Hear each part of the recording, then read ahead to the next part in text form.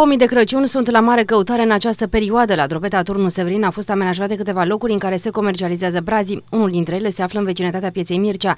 Severinenii sunt mulțumiți de ofertă și nici prețurile nu sunt prea mari. Prețurile sunt accesibile, da, e un brad drăguț, deci sunt mulțumită de el, are multe, este,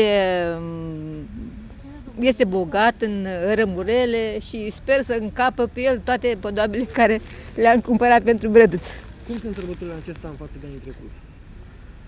Sunt uh, mai, mai, adică pentru mine vreau să vă zic că mai, mai, mai, mai, mai bune, deci aștept cu nerăbdare sărbătorile și cât ce să vă zic, atât. Nivelul de trai, Mm, să nu vorbim despre asta.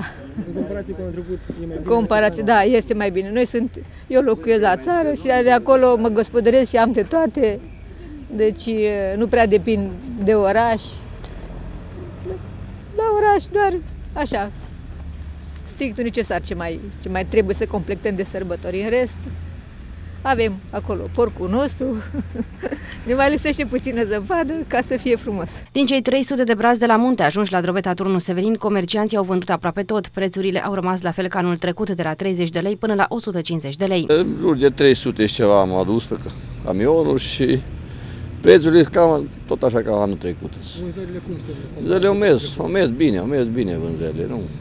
Mai cum Nu mai avem mulți. Oamenii brazii mai sunt interesați. Mai sunt, mai sunt interesați și le place ăștia de la noi, de la munte, că sunt eco, ecologii, cum zic ăștia acum și Până Mirosul, când frumos, pot fi frumos. oamenii de votat în Severin? până ajungă de Crăciun. Până ajunge, până în 24. Prețurile sunt negociabile. Da, negociabile, de la, începând de la 30 până la un milion, un milion jumate maxim. Aveți numai brad brad. Numai brat, brat. Cei interesați pot cumpăra brază și în ajun de Crăciun. Atunci probabil prețurile vor mai scădea, însă este posibil să nu mai aibă de unde să aleagă ceva pe gustul lor.